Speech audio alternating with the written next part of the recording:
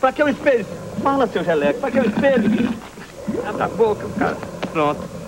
Dormiu.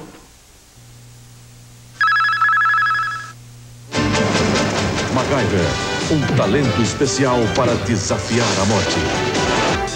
Profissão, perigo, sessão aventura, toda segunda, quatro da tarde.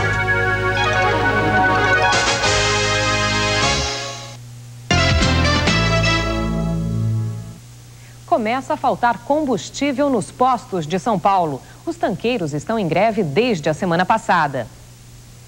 Desde sexta-feira não entra nenhum caminhão nas distribuidoras de combustível da Grande São Paulo e de Santos. Só que nesta base de carregamento estão mais de 200 tanqueiros impedindo a entrada dos caminhões das empresas.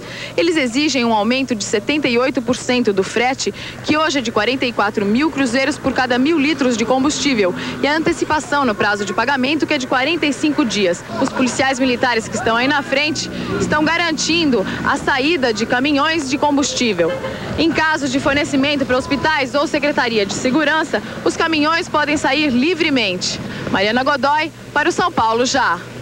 E o preço dos combustíveis sobe 18% à meia-noite. Nós voltamos em instantes.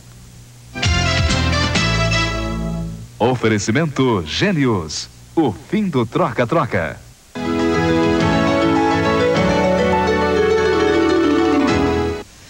Provoca diarreia são os micróbios e parasitos transmitidos à criança principalmente através da água, mamadeiras e alimentos contaminados.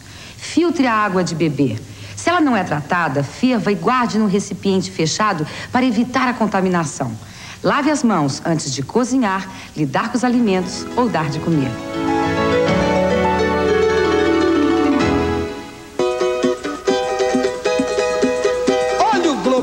Globeleza chegando. Lá vou eu, lá vou eu. Hoje a festa é na avenida. Angélica, você tem um espelho aí, por acaso? Espelho? Pra quê? Não sei, não pergunta não, que eu também não sei não. É negócio do lama. É o único, cuidado.